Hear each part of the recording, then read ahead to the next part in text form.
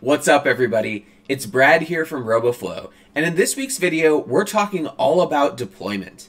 In many of our other videos, we teach you how to train a really good computer vision model, but in truth, that's only half the battle. Once you have a good model, you're going to have to figure out how to get it into the hands of your users. And whether you want to deploy it to the cloud or on an edge device, we've got you covered. So buckle up, because here we go.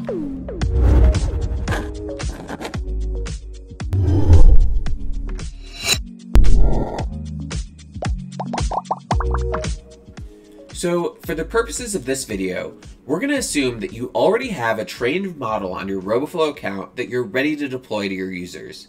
And if that's not the case, don't worry because we're going to show you in a second how you can skip the entire first part of the process and start right with the deployment uh, without even having to go through and collect images, label them, and train a custom model.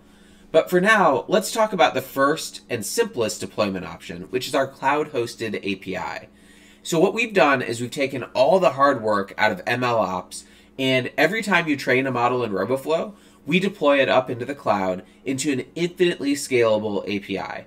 And what that means is you don't have to worry about managing how many servers that you're going to need or scaling them up and down, or even if you get on the front page of Hacker News, we have you covered. And in fact, we've already tested this that exact situation with one of our projects that got hundreds of thousands of users in the first few days and it didn't even blink. It was a great test of our infrastructure and it passed with flying colors. In fact, had one of our friends not told us that we were on the front page of Hacker News, we might not even have noticed. So without further ado, let's dive in and see how the cloud hosted API works.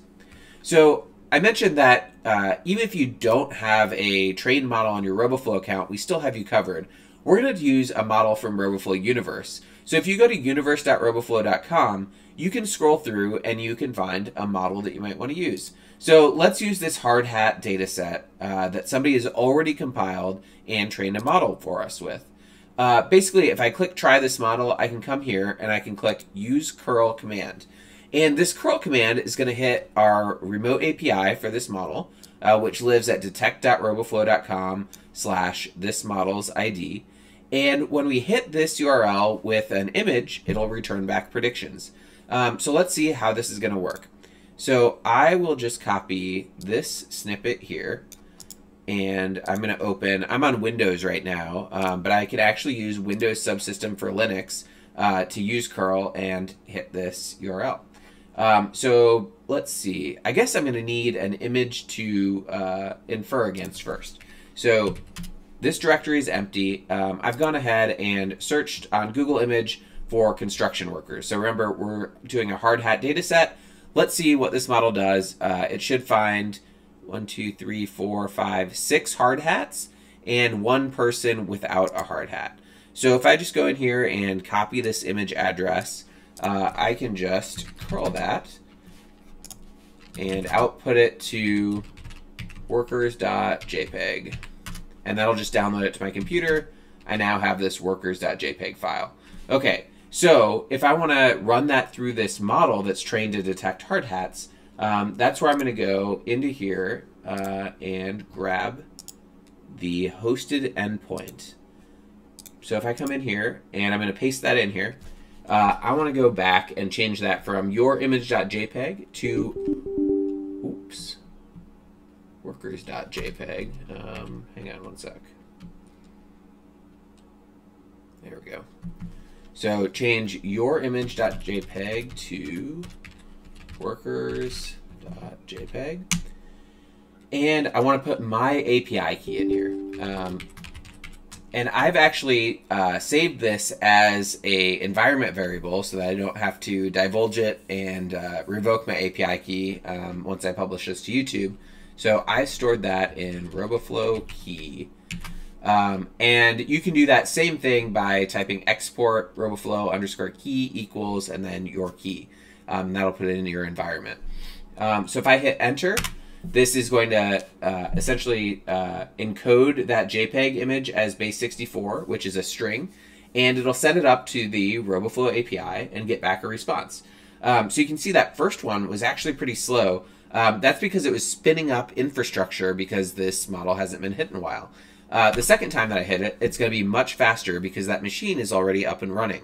And we handle the uh, scaling up and down of servers um, so that you don't have to really worry about it. Um, eventually, if this model isn't hit for a while, we'll scale it back down to zero, um, and we've abstracted all that cost away um, so that we're responsible for that scaling up and down. You only pay based on the number of inferences that you hit the API with. Um, okay, so that's how we hit the remote API. Uh, it was really simple. Um, we actually have a whole bunch of um, sample code in our documentation at docs.roboflow.com. Um, so if you go to the hosted API, uh, you can scroll down to our sample code, uh, and whatever programming language you want to use, um, we'll show you how to do inference against your model. So that was just doing it via curl, which is um, a command line um, tool. We have Python code, we have JavaScript code, and we have code for a whole bunch of other programming languages too. And if there's one that you see that uh, you know you're writing your application in that we don't have, which I think PHP uh, is one that we don't have, um, you can just click here, and uh, someone on our team will actually write the code snippet for you. Um, we are dedicated to supporting every programming language with um, this stuff, and it's it's very generalizable. Um, and so if you're working on something that we don't have documented yet, um, you can either contribute it to us, uh, and we'd be happy to add it to the docs, or uh, we will add it to the docs for you. Um, okay, so that was the remote hosted API. Now uh, let's look at what's called edge deployment. And so there's a few different reasons why the hosted API might not work for you. One might be your device is going to be deployed someplace out in the wild where it might not have a reliable connection to the internet. And in that case, you're going to want to load the model onto the device and use it there. Um, so we support a whole bunch of different devices. We support any uh, Intel type machine, any NVIDIA CUDA machine, um, the NVIDIA Jetson uh, embedded devices, and the Luxonis Oak, uh, amongst others. Uh, we've got support for the Raspberry Pi coming as well. Um, and if there are other devices that you're interested in having support for, just let us know. Most of them are on the roadmap uh, and, and should be coming out soon. Um, so we're going to see how to run this actually on my computer. Um, I can show you um, basically how to, how to swap out the hosted API for one that's going to run on premises. It could be running on my machine. It could be running in my virtual private cloud. It could be running on a server on my network. Uh, it's basically up to you. And the way that we handle that is via Docker. Um, so essentially, that uh, hosted API that you saw, you can think of it as a microservice. It is uh, encapsulating your trained model into its own server uh, so that it doesn't matter, you know, whether you're writing your application in PHP or Python, or uh, whether you're writing, you know, in Swift or uh, Java for a, for a mobile phone. Um, basically, your it separates your concerns between your model and your application. And in fact, you could have a you know a multi-platform app that's all hitting the same uh, model, and uh, you know you could be developing those independently. Maybe one person on your team is responsible for one, and one person's responsible for the other.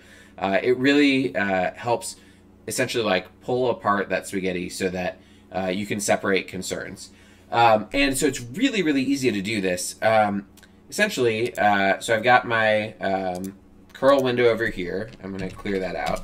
Uh, and if we recall, um, this was how I hit uh, the remote hosted API.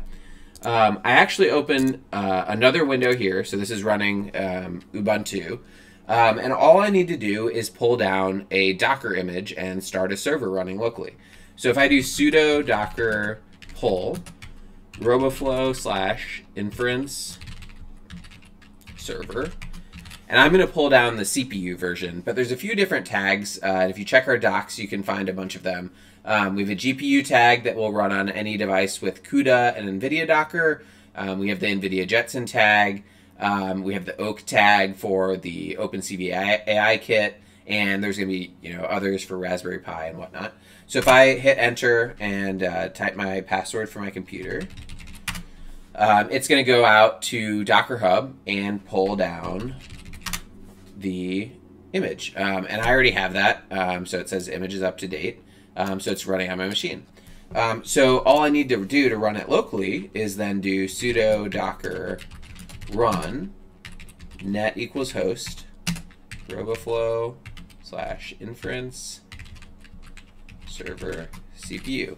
And that net equals host is going to pass through my network card so that I can expose my ports uh, and be able to essentially run this server and access it from the outside. So here we go. Uh, inference server is online and ready to receive traffic. If I go back to my web browser, I can. Um, oops.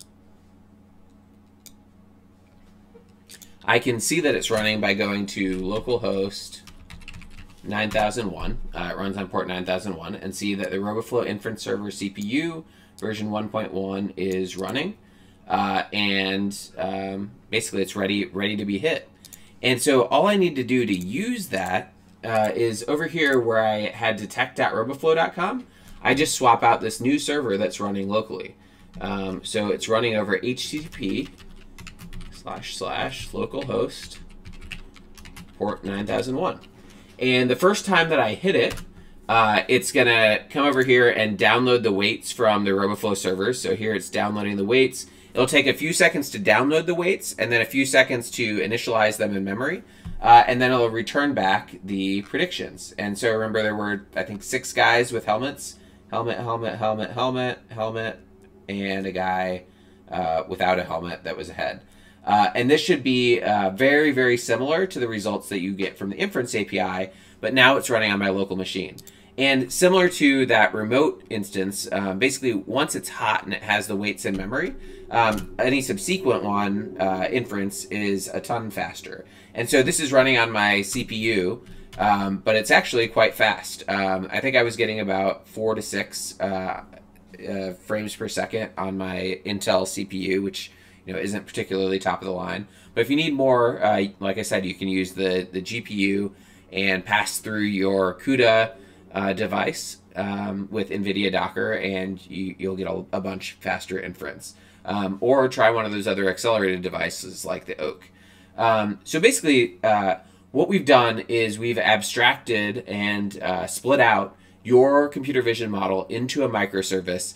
Um, so no matter which device you're running on, you can uh, develop either you know against something hosted locally or the inference API, and uh, then swap out uh, whatever the device that you're using is, and seamlessly switch um, so that it actually uh, doesn't matter. Um, you know what you're developing against. You can have your same model running across all those different things.